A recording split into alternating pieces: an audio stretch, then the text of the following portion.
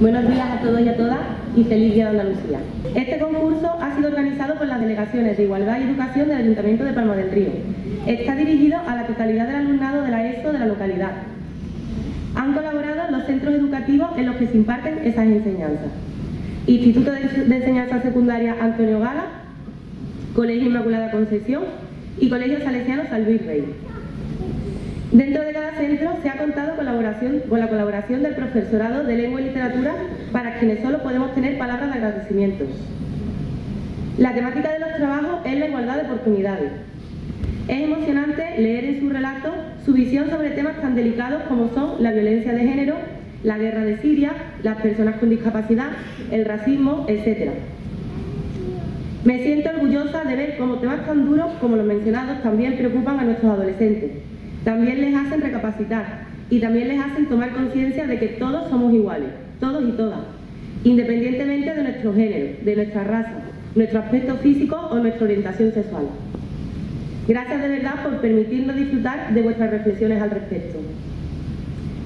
Todos somos iguales es el título del concurso, pero si nos paramos a pensar en nuestro día a día, en las noticias, en las relaciones entre personas, etc., vemos a diario casos de trato de desigualdad por alguna condición.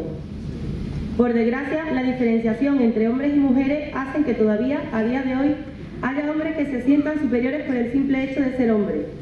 Hombres, tampoco hombres, que se sienten superiores a las mujeres. Hombres que humillan, maltratan e incluso matan a sus parejas por el hecho de ser mujer.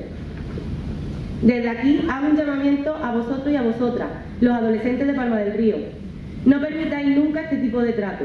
Como bien habéis reflejado en vuestros relatos, todos y todas somos iguales. Lo mismo pido en el resto de situaciones que puedan dar lugar a algún tipo de discriminación. No tengáis en cuenta el género, el aspecto físico, el acento o el color de piel, porque todos y, y todas somos lo mismo, simplemente personas. Y a continuación os presentaré a los miembros del jurado. La presidenta es Esperanza Caro de la Barrera, concejal de Cultura. Los representantes políticos, Ana Belén Santos Navarro, concejala de Igualdad, Luisa María Venteo Díaz, representante de Ora Palma, Tatiana Campanario Moreno, representante de Izquierda Unida, Onofre Cuyo Pérez, representante del PA, y Cesario María Callejón del Castillo, representante del PP. También hemos contado con técnicos del Ayuntamiento como parte del jurado. Tenemos a Carmen Belén Lopera Pérez, informadora y animadora del Centro de la Mujer, Pepa León González, asesora jurídica del Centro Municipal de la Mujer, y Antonio Leolillo, responsable de la Biblioteca Pública Municipal. Voy a proceder a explicaros el proceso de selección de los ganadores. Los miembros del jurado, en una reunión celebrada el 17 de febrero de 2016 en las dependencias administrativas de la Casa de la Cultura, deciden repartir, repartirse para su lectura los trabajos presentados, no incluyéndose la presidencia del jurado. Cada miembro del jurado eligió dos relatos, de entre los que tienen asignados eh, comunicando su decisión a la Secretaría del Patronato Municipal de Cultura. La elección de los ocho miembros del jurado dio como resultado a los 16 relatos finalistas. Se establecen cinco únicos premios a los mejores mini relatos presentados, consistentes en una tabla PC. La elección de los ganadores se realizó durante la reunión del jurado que se celebró este viernes pasado, el viernes 26, en la Casa de la Cultura. Previamente, cada miembro del jurado individualmente puntuó los cinco mejores trabajos de los 16 finalistas, del 5 al 1, siendo 5 la puntuación más alta y 1 la menor. En la reunión del 26 de febrero se, pusieron en común las diferentes puntuaciones, estableciéndose por el jurado los premiados en esta sexta edición. Decir que se ha valorado la creatividad, la expresividad y originalidad, así como el valor literario de los mini relatos, en esta edición se han presentado 97 relatos de los, de los tres centros educativos mencionados anteriormente, 12 del Instituto Antonio Gala, 45 del Colegio Inmaculada Concepción y 40 del Colegio Salesiano San Luis Rey. Según el jurado, la calidad de los trabajos ha sido muy alta. Felicitar a todos los participantes por ello. Y debido a esto, su deliberación ha sido muy difícil. Los mini relatos de los ganadores y ganadoras se publicarán íntegramente en la página web del Ayuntamiento de Palma del Río y en el blog de la biblioteca. Y sin más, procedemos a la entrega de los premios. Pido a los premiados y premiadas que se suban con su relato, si lo tienen, en el caso de que no lo tengáis, nosotros tenemos aquí una copia, para que podáis compartirlo con nosotros. Procedemos a la entrega de premios. Claudia Callejón Balbuena, del Colegio Inmaculada Concesión, con el relato Un sí a la igualdad.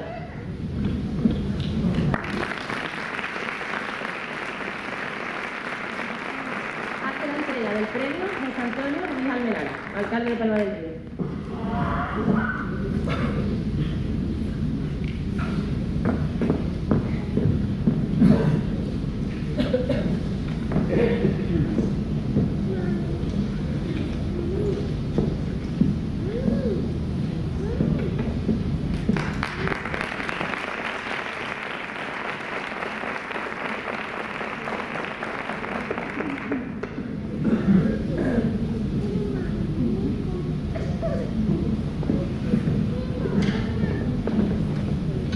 Eh, un sí en la igualdad.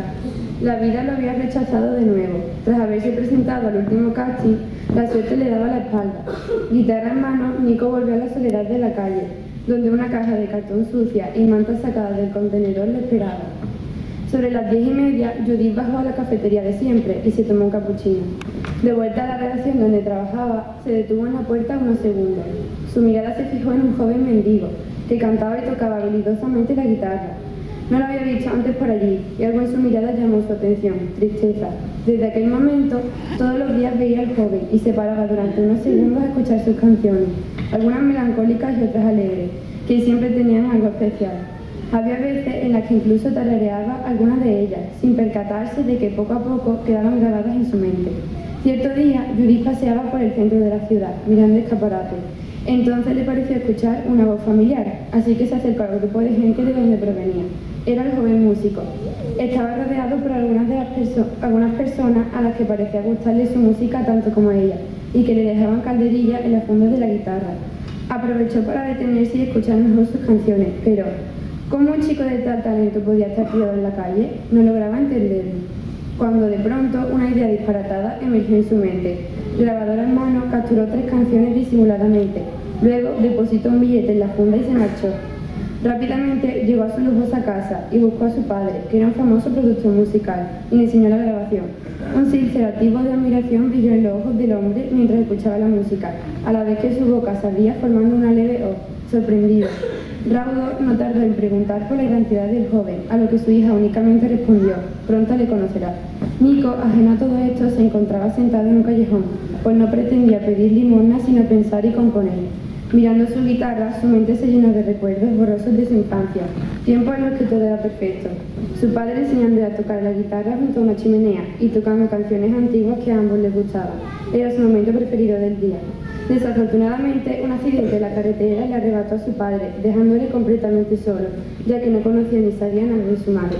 Más tarde se quedó en un centro de acogida, pero a los 18 tuvo que dejar el lugar, y finalmente la calle fue la única que le abrió los brazos. Desde aquel momento la, la, música había sido su salvación, pues al menos con ella ganaba algo de dinero para ropa y comida. Sin embargo, no conseguía ahogar del todo la soledad y amargura que cada día la atormentaba. Era horrible ver todos los días el bullicio de personas de aquí a allí, con dinero y tiempo en el que gastárselo, o simplemente con el cariño de su familia, que era lo que más anhelaba. Judy se levantó temprano. Ese día no tenía trabajo. Ansiosa, buscó al mendigo por toda la calle, hasta que al fin dio con él. Se acercó sonriente, aunque con algo de timidez. Hola, me llamo Judith. Tal vez pienses que esto es muy arriesgado, pero creo que te gustará. Comenzó.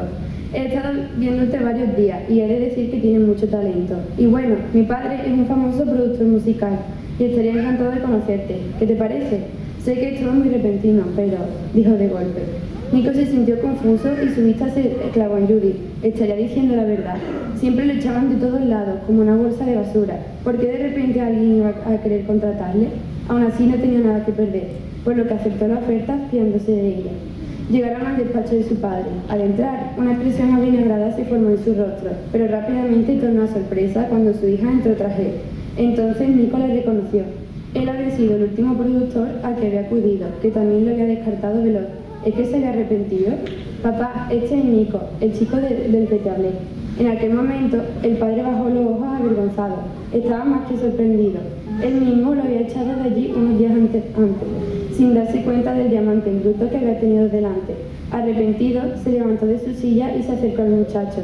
Lo primero que he de decir es que lo siento. Recuerdo que hace unos días viniste aquí y te di la espalda solo por tu aspecto. Luego miré a Judith. Mi querida hija me enseñó una grabación tuya y me encantó. Ahora me siento muy mal por no haberte dado aquella oportunidad. No debí prejuzgarte porque realmente tienes algo especial. Traigo saliva. Quizá no aceptes lo que voy a proponerte, pero ¿te gustaría trabajar conmigo? Puedo ofrecerte un buen futuro en el mundo de la música. Llegarías muy lejos. A pesar de lo mal que lo había pasado, Nico había aprendido que el rencor no llevaba a nada bueno. Justo en aquel momento en su, interior estalló la felicidad y la esperanza de que su vida cambiaría pronto. Tras haber luchado mucho por ello, aceptó. Pero todo gracias a Judith. Al fin alguien le había demostrado que las personas aún querían ayudar a otras, que aún había gente que se preocupaba por los demás. Gracias a ella pudo recibir el mérito que se merecía. No le juzgó como libre por su portada, sino que vio más allá, su valía, porque todas las personas somos iguales sin importar lo material ni el aspecto físico. Todas merecemos una oportunidad para demostrar que hay en nosotros algo especial.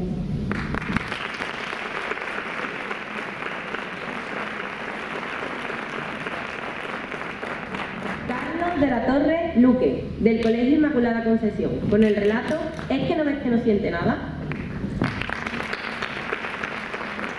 Hace la entrega del premio Cesario María Callejón del Castillo. No se encuentra. Bueno, pues, Carmen procedes tú a, leer el, relato para que por lo menos podamos escucharlo. ¿Es que no ves que no siento nada? Otra vez abro los ojos para volver al infierno al que llamaban vida. Siempre deseo volver a dormirme. Supongo que de esa forma no tendría que sufrir más, pero hasta el momento no hay forma alguna de conciliar el sueño eterno. Como cada mañana, mamá viene a ver si he despertado, me levanta y me, va, y me, va a dar, y me da de desayunar, lo más veloz posible para poder deshacerse de mí cuanto antes. Cada día lo hace más cansada, con más amargura y dolor, como si mi existencia la, la consumiera poco a poco. Ya ni siquiera me da un beso en la frente. Papá es incapaz de regalarme la más mínima sonrisa. Tan solo soy un incordio para él y sobre todo para mi hermano mayor y mi hermano pequeño, los hipócritas que, para evitar que, no me salga de la acera del camino al colegio, me pegan y agarran de la mano como si de un simple objeto se tratase. Lo mismo que me abofetean con ira para evitar mis nervios y me hacen decir o hacer barbaridades para echar una risa junto a sus amigos. Eso sí, delante de mamá o de los profesores actúan como hermanos ejemplares.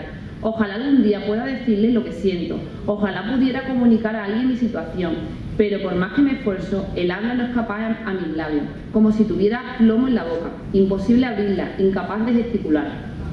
En clase me siento y observo a mi alrededor, niños de mi edad señalándome y riéndose mientras yo, sin poder evitarlo, hago de marioneta para que, cuando llegue el profesor, sea yo el único culpable del desastre causado. Todos me tratan como un bicho raro, como si solo fuera un cuerpo sin sentimientos ni corazón. Parezco de otra especie. Siempre he querido defenderme, pero en lugar de poder juntar dos letras, solo soy capaz de explotar todos estos sentimientos en mi interior, en forma de ataque, una irrupción ocasionada por todos estos gritos del profesor, por la risa de mi compañero. No tienen la más mínima idea de que, para mí, todos estos ruidos y agresiones son como bombas en mi interior. Todos rebotan en mi cabeza como voces que no cesan de atacarme. Me tapo los oídos, Comienzo a gritar, lo golpeo todo y pronto vienen las enfermeras para recogerme e intentar calmarme, llevándose a cambio patadas y golpes de mi parte. Ya era parte de la rutina. Probablemente penséis que deseo volver a casa cuanto antes, pero no, las tardes son mucho peores. Al llegar, mi hermana y mi hermano se hacen los buenos conmigo y le cuentan a papá y a mamá que mi comportamiento ha sido pésimo y que solo he causado problemas, sabiendo que yo no tenía culpa de nada. Papá solía bofetearme sin parar, a pesar de que mamá le decía que parase. ¿Es que no ves que no siento nada? Incordio de niño. Si vives en otro mundo, le contestaba papá. Ni siquiera soy capaz de expresar mi cara de dolor.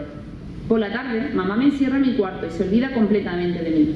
Al llegar la noche, el sueño se apodera de mí y me, y me inmerso en ese habitual mundo de soledad para intentar dejar la injusticia que sufro a un lado e imaginar cosas que me pongan alegre. Cada vez funciona menos. Mis sentimientos de impotencia al no poder expresarme dolor, ira frente a las agresiones, insultos o simplemente al no poder contestar una simple pregunta como ¿cómo te llamas?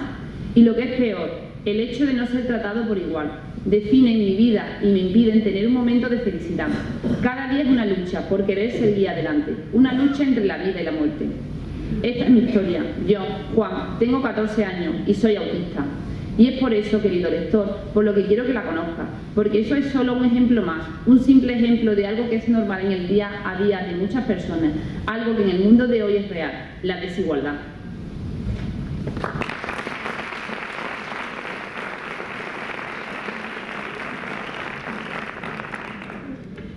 Bueno,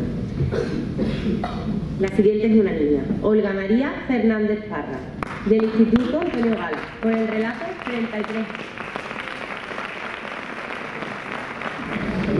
Hace entrega del premio Cesario María Callejón del Castillo. Ahora sí.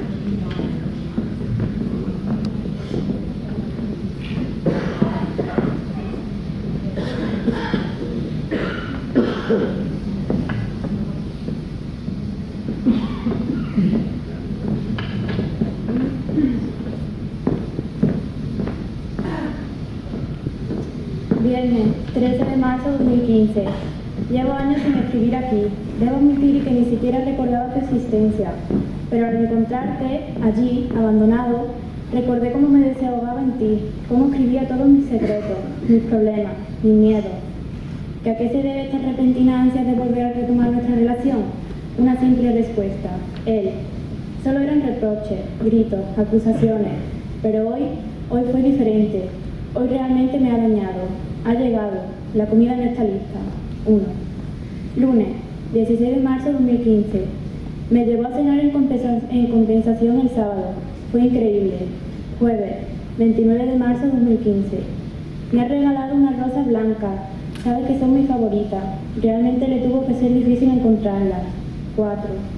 Martes, 11 de abril de 2015. Nuevamente llegó con un medio dolor a alcohol. Sabe que estaba hablando con el amigo de mi hermana. Solo espero que los gritos no despertaran a los niños. 9. Miércoles 12 de abril 2015. Prometió no volver a hacerlo. Domingo 16 de abril 2015. Mintió. 11. Jueves 27 de abril 2015. Volvió a gritarme, volvió a insultarme, volvió a herirme. 15. Lunes 1 de abril 2015. Me quiere, me lo ha demostrado. Fuimos al parque de atracciones, allí me lo susurró. Jueves 10 de abril 2015. Volvió a hacerlo, fue mi culpa. No debía hablar sobre su familia. Odia que hable de su familia. Lo siento. 22. Miércoles 12 de mayo de 2015. Hoy limpié la habitación de Emily. Sin querer dejé caer una de sus muñecas de porcelana. Cuando fui a recogerlo, vi que solo estaba vacía. No había nada dentro. Fue entonces cuando me di cuenta de mi parecido con ella. Ambas estamos vacías. Viernes, 13 de mayo de 2015. Comienza a hacer calor. No secaré. El maquillaje no las oculta demasiado bien. 23. Lunes, 16 de mayo de 2015. ¿Qué hago mal? 24. Sábado, 21 de mayo de 2015. Hecho un humillo en el suelo, siendo víctima de su grito y sus métodos antiestrés, nuevamente esa pregunta ronda mi cabeza. 27. Domingo, 29 de mayo de 2015. Otra llamada de mamá. Creo que es hora de que responda. Mis mensajes parecen no tranquilizarla. Martes, 31 de mayo de 2015. Me he atrevido a alzarle la voz. Me he atrevido a tocarle. Sus métodos de castigo para los niños son algo particulares, pero esta vez se ha, sobrepasado. Emily no merece ser dañada. 32. Jueves, 2 de mayo de 2015. Hoy el soslayo ve mi reflejo en el espejo. Es increíble como tu madre parece ser más joven que tú. 33. Sábado, 11 de mayo de 2015. Emily cada vez le causa más irritación. Domingo, 2 de junio de 2015. Sus regordetas mejillas normalmente de un color rosado comenzaban a tornarse moradas. Él había perdido el control. Yo también lo perdí. Lunes, 10 de junio de 2015. La, viti- la vitalidad vuelve de manera grata a mi cuerpo. No hay Emily duermen a mi lado. Triste que deba bajar a preparar mi defensa. Martes 3 de enero de 2016. Cada quien hizo lo que pudo. Gracias. Jueves 19 de enero de 2016. No tenía la culpa de nada. No había ni, no había ni ningún problema en mí. El problema lo tenía él.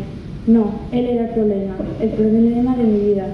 Es increíble cómo la razón no llegó a mí hasta estar encerrada, privada de mi libertad, sola en mi soledad. Aun cuando me encuentro en estas condiciones, debo decir que ningún tipo de remordimiento recae sobre mí, pues gracias a lo que hice, bien sé que él no podrá dañarme más, pues bien sé que Él no podrá dañarnos más, pues bien sé que Él no volverá. 33 marcas y ya no más.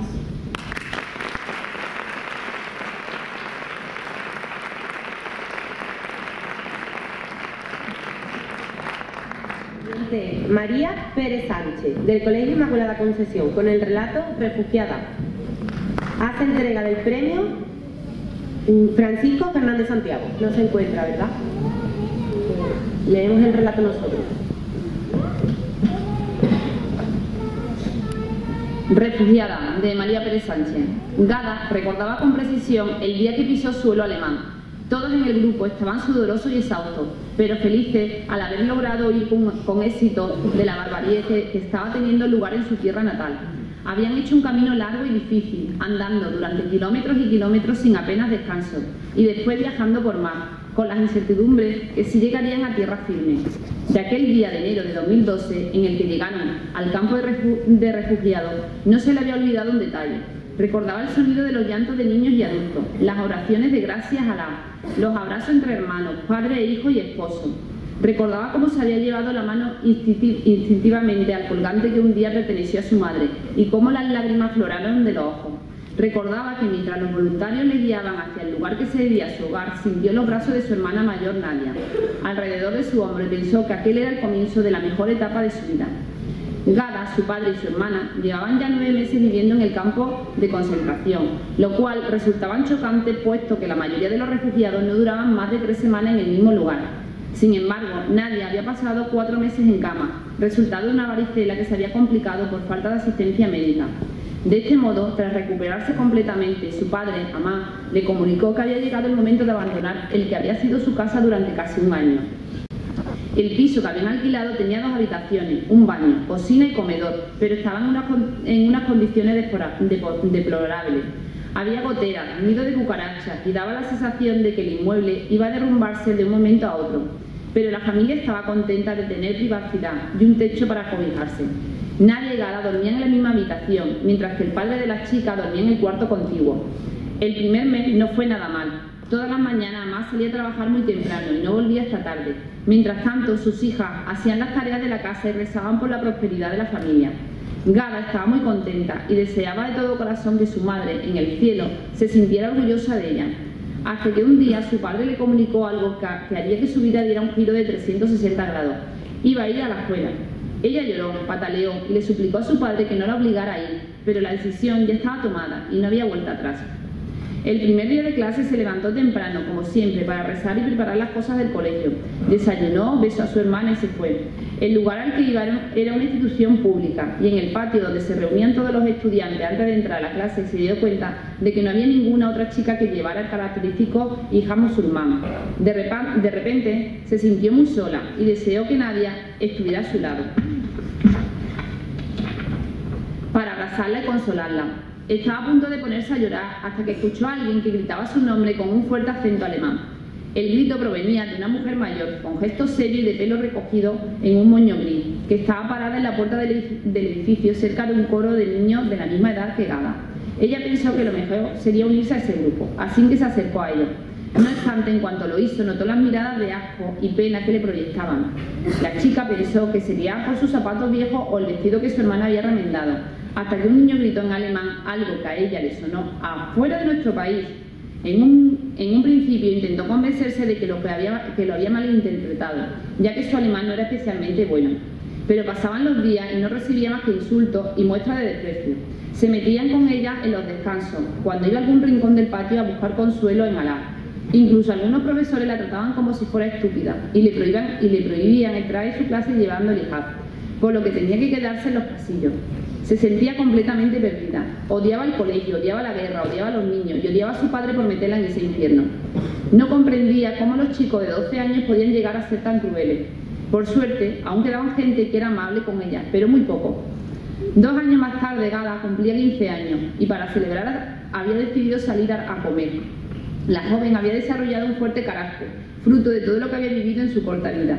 En el restaurante había una familia compuesta por un hombre, una mujer, un niño y una niña de unos nueve años de edad, además de otros clientes. Los adultos de dicha familia no dejaban de mirar con desaprobación a Amaya y a sus hijas, y Gala estaba empezando a ponerse nerviosa. Su hermana, que se dio cuenta de la inquietud de la muchacha, le apretó la pierna y con la mirada le dijo que se calmara. Sin embargo, no pudo evitar responder cuando yo que el hombre le decía a su esposa, debería darles vergüenza salir así a la calle. Mírale, han venido a invadirnos y a destrozar nuestro país. Seguro que son terroristas. Gala no pudo aguantar más todas esas vejaciones sufridas durante tanto tiempo. No aguantaba que la trataran como escoria. No aguantaba ser el punto de mira de todos los insultos y sobre todo no llegaba a comprender cómo podía haber gente tan ignorante. Así que se armó de valor y dijo, Señor, creo que usted nunca se ha visto obligado a abandonar su país por una guerra. Creo que nunca ha visto cómo bombardean su ciudad. Creo que nunca ha vivido durante nueve meses en condiciones pésimas, junto con otras 500 personas en la misma situación que usted. Creo que nunca le han insultado por su religión o le han llamado terrorista. Y creo que sus hijos nunca han sido insultados por el color de su piel o, por su forma de vestir. Y no me malinterprete, señor, no, no, le decía a usted ni a nadie, así que por favor solo pido un poco de respeto para mi familia y para todos los refugiados que se encuentran en la misma situación que yo. Créame, si mi hogar natal no estuviera completamente calcinado, yo no estaría aquí. De lo que pasó a continuación no recordaba mucho. Recordaba que los clientes le habían aplaudido y que el hombre que le había insultado se acercaba a pedirle perdón. Recordaba cómo alguien había grabado su discurso y lo había subido a internet para luego convertirse en un vídeo viral que había dado la vuelta al mundo. A partir de entonces nadie le había vuelto a insultar, había podido ir al instituto con tranquilidad, había hecho amigos nuevos y se había mudado con nadie, su padre a un piso más amplio. Hoy en día va a empezar la universidad en Berlín, un nuevo capítulo en su vida. Se siente bien, querida por sus amigos y su familia, y cree firmemente que su vida no puede ir a mejor.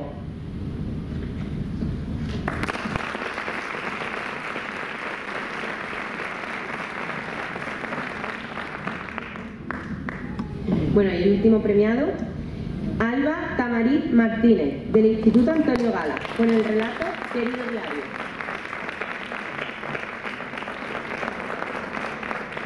Hace la entrega del premio Francisco Fernández Santiago, Luisa María Venteo Díaz y Esperanza Caro de la Barrera Martín.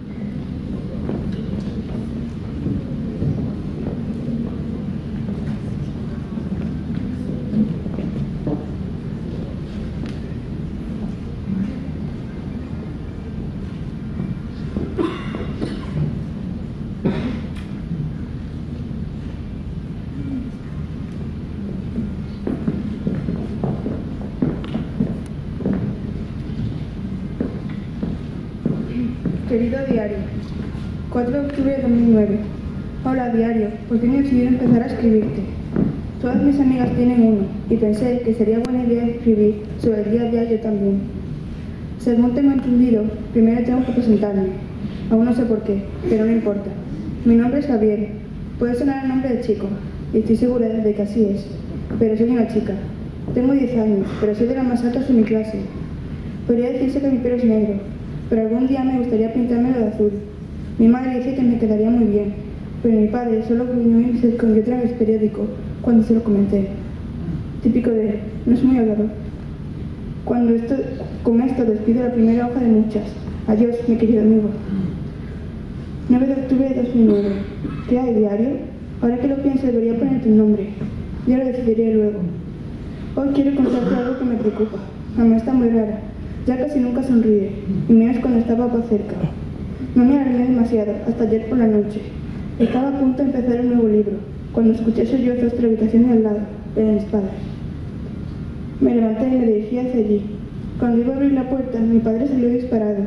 Mi madre estaba en la cama, sentada en el borde. Me acerqué a ella y la rodeé con mis brazos. Pareció estremecerse cuando notó mi roce. ¿Acaso creía que era otra persona, diario? Le pregunté por qué lloraba. Ella me dijo que se había chocado contra el, armario en la oscuridad y, que papá le había ayudado a levantarse. Pero tan fuerte fue, el golpe que le sangraba el labio. No sé, amigo. 12 de octubre de 2009. Aún no he pensado un nombre, lo siento, diario, pero he estado ocupada con mamá. Parece que se ha empeñado en pasar tiempo conmigo. Ayer fuimos a un centro comercial. Lo pasamos muy bien, pero al volver a casa papá parecía muy enfadado. Decía que deberíamos haber dejado una nota o algo por el estilo. ¿Era para tanto diario? Mamá estaba muy asustada. Cada vez que papá se le acercaba a ella, más de lo necesario, se encogía y miraba hacia otro lado. 19 de octubre de 2009. Estoy muy, estoy muy preocupada diario. Se oyen gritos y llantos de habitación de mamá y papá. Me dijeron que cada vez que escuchara algo, no, no me moviera de mi cuarto. Mamá, cuando le pregunté, dice que son pequeñas discusiones entre los dos, pequeñas disputas sin importancia, pero yo no lo veo así. Hoy los gritos parecen atravesar la pared. Estoy escribiendo esto mientras lo oigo. Un momento. Los, llantos han cesado, diario. Pero los golpes en la pared han empezado. Papá grita. Mamá parece chocada una y otra y otra vez en la pared de su habitación. Tengo miedo, diario. Parece pare- papá está- parece estar diciendo algo. No lo oigo bien. No vas a irte. Sí, diario. ¿A dónde pretende irse mamá? Entonces, un golpe se escuchó más fuerte que los demás, los gritos y los sollozos de mamá se detuvieron. Papá también se cayó. Un silencio reinaba la casa. Solo se oía mi respiración. Me levanté de la silla y cerré mi, recién empezado diario. Dejé el lápiz en la mesa y atravesé mi habitación. Pegué el oído a la puerta y oí llorar a alguien. Parecía papá. Mamá no decía nada. ¿Por qué no decía nada? Abrí silenciosamente el cerrojo de la puerta y crucé el pasillo, guiada por el llanto. Pegué nuevamente el oído a la puerta y solo escuchaba aquel sollozo. ¿Dónde estaba mamá? Entonces papá habló por fin. Solo quería que te callaras. No podías irte, no podías dejarme solo. Abrí la puerta y lo vi. Mi padre estaba arrodillado, la- mi padre estaba arrodillado al lado de algo que estaba tendido en el suelo. Un charco de una sustancia rojiza rodeaba ese algo. El cuerpo de mamá estaba tirado en el suelo, con solo alrededor de la cabeza, totalmente inerte. Papá había conseguido que se callara, para siempre.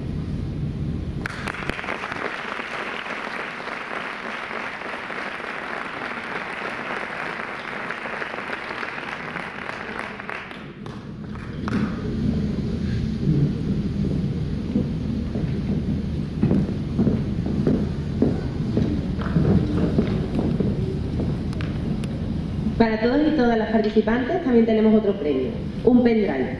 Procedemos entonces a la entrega de esto. Os comento, cuando vayáis subiendo al escenario, nos quedamos arriba hasta que estén arriba todos los participantes de nuestro mismo centro escolar, para poder hacer una foto de, todo el colegio, ¿vale? Os voy nombrando de uno en uno. Empezamos con el colegio Inmaculada Concesión. Ricardo Jesús Fernández Rodríguez.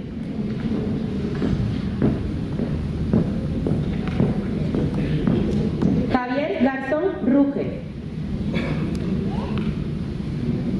Israel Velasco Aguilera. María Quero Montero. Juan Antonio Valenzuela García.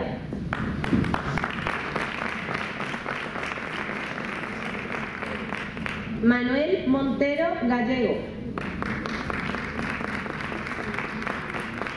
Pilar Marchal López de Letona. En este relato no teníamos el nombre del niño o la niña que lo haya escrito, entonces nombró el relato. Había una vez una mujer. Laura Pérez Márquez.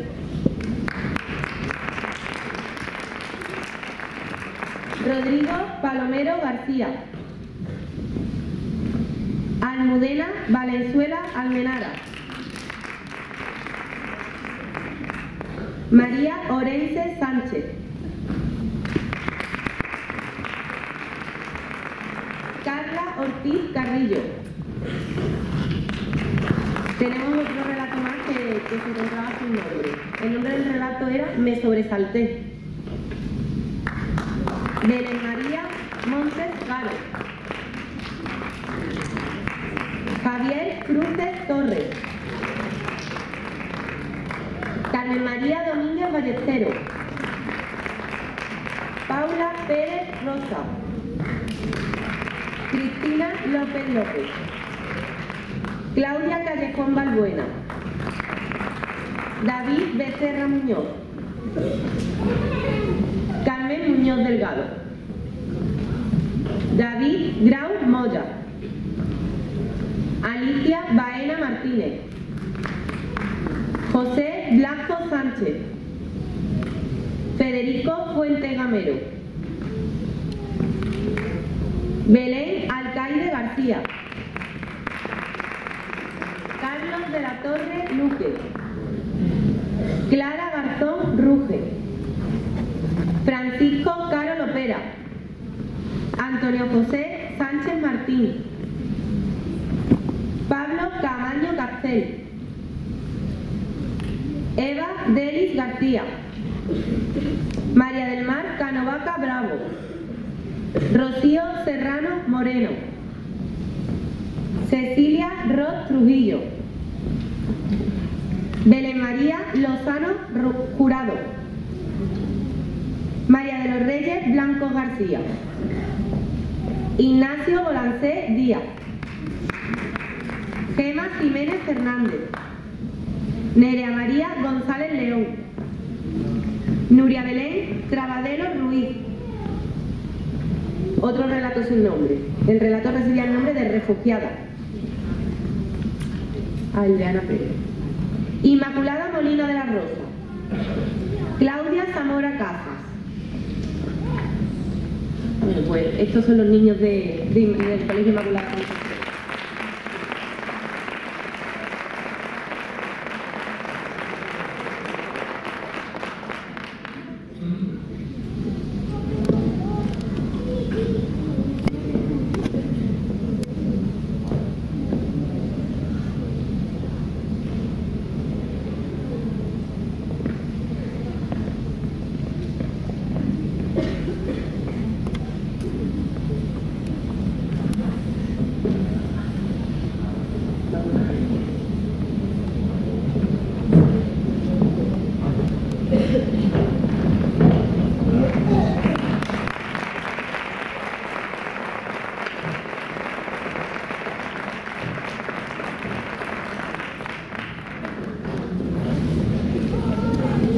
Pasamos ahora al Colegio Salesiano San Luis Rey.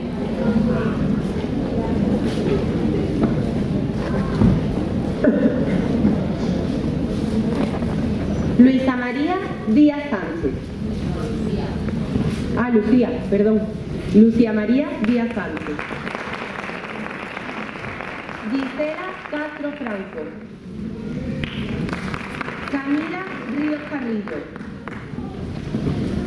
Marta María Estepa Arriba. Carmen Arista Martínez. Javier Muñoz Romero. Belén Muñoz Vela- Velasco. Antonio González Domínguez. Ángeles Montero Guerrero. Sergio Pinilla Maravet. Noé Caro de la Barrera Pedregosa. Lidia Martínez Sánchez. Otro relato que tenemos sin nombre. El relato se llamaba La chica futbolista. Claudia Martínez Navarro. Juan Jesús Aguilera. Paula Sánchez Muñoz. Sara López Millán. María José Sánchez Almenara. Alejandro Ortiz Osuna. Daniel Gracia Tomás. Ignacio Díaz Borrueco. Víctor Conde Robles. Sandra Muñoz Gómez. Nerea Cepeda Muñoz. Laura María García Muñoz. Lorena Ceballos Ceballos. Pablo Angulo Copé. Belén María González López. Ismael López Millán. Juan Borrueco Serrano. Serrano. Ana Guillén Márquez. Carmen María Herrera Giralde. Sara Rodríguez Cruces. Eloy Lillo Jiménez. Alba González Maravet. Ismael Ramírez Camacho. Valentín Tatarú. Taires Almenara García. Belén Díaz León. José Antonio Pérez Martínez. Y ya están todos los del Colegio Salesiano.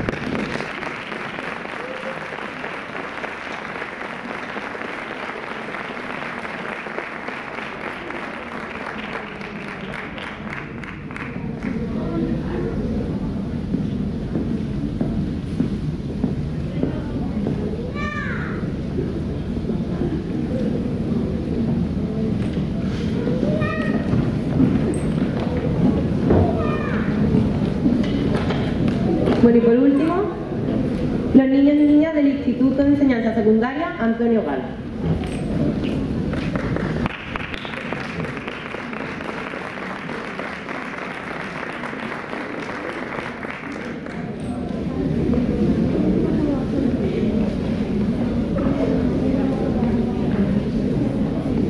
Empezamos. Óscar Almenara Reyes. Edison Lora Caro de la Barrera. Alba Camarí Martínez. Juan Manuel Gallego Montero. Antonio Del Monte. Manuel Mazuecos García. Moisés Peña Mínguez. Alba López Sánchez. Carmen Fulop. Marcelo Muñoz Sánchez. Olga María Fernández Parra y Blanca Ruiz Romero.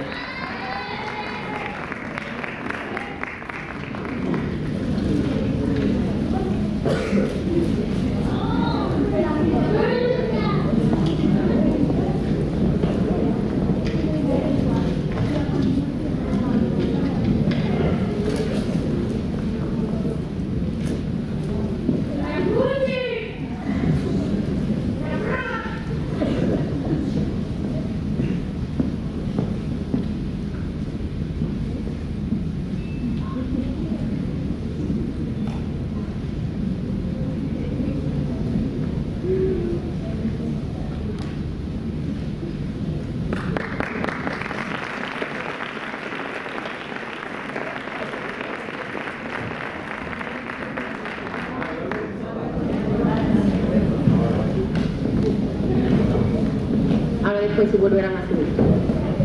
Por la continuación, le cedo la palabra a José Antonio Ruiz Almenara, alcalde de Palma del Río.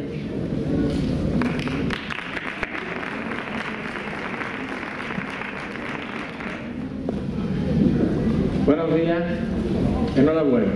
Enhorabuena a todas las personas, chicos y chicas, que habéis participado en la, digamos, la elaboración de estos relatos y decir que todos han sido los que se han leído y los que ha leído el jurado, eh, algunos desgarradores, evidentemente, también con belleza, bonitos, eh, pero con mucha sensibilidad.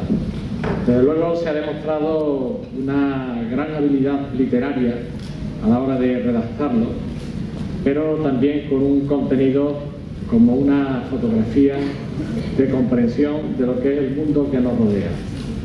Verdaderamente había acertado en describir nuestra sociedad, pero también había expresado sueños, planteamientos de futuro de cómo debía ser nuestra sociedad.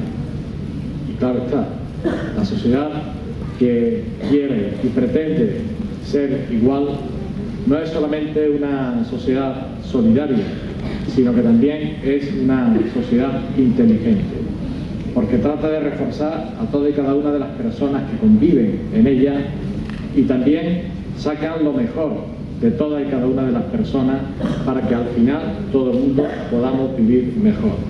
Ese es el tono, la expresión que habéis realizado en vuestro relato y por tanto desde toda la corporación municipal, de todo el ayuntamiento, os quiero expresar nuestro agradecimiento y desde luego con el compromiso que tenéis con la vida, que tenéis con un mundo que sea mejor, una sociedad más habitable y por tanto también un Palma del Río mejor.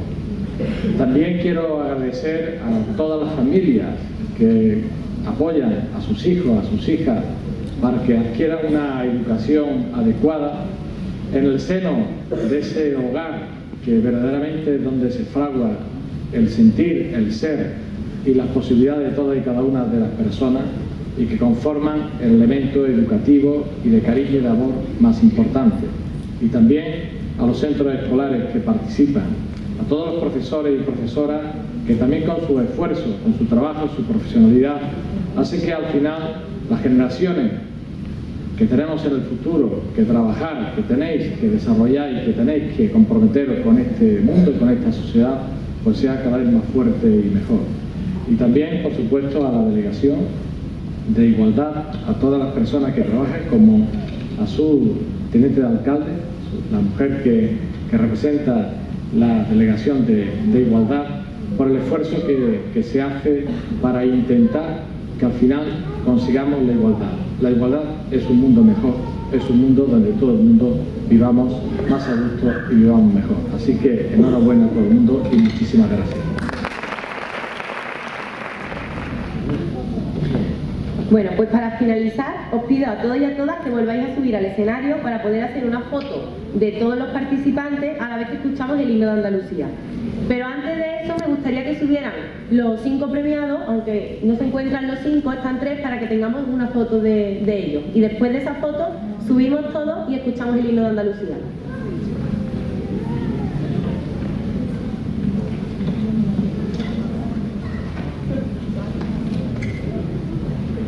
Alba, Olga y Claudia.